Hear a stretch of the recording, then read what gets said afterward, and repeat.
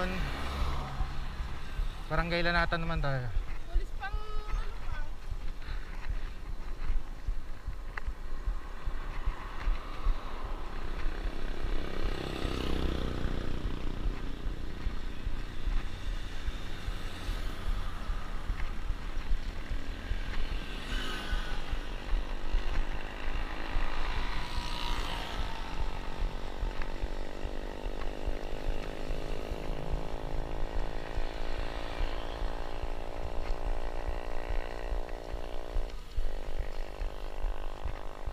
Quick ride lang naman to.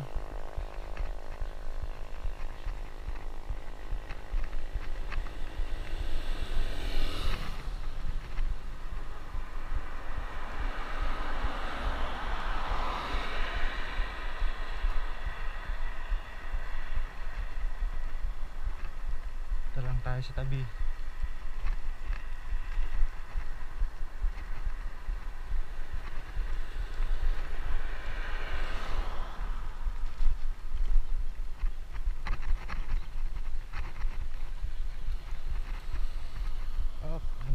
up.